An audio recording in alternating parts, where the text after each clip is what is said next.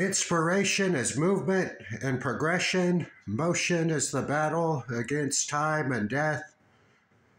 And gravity, the closer to the speed of light, the slower time goes.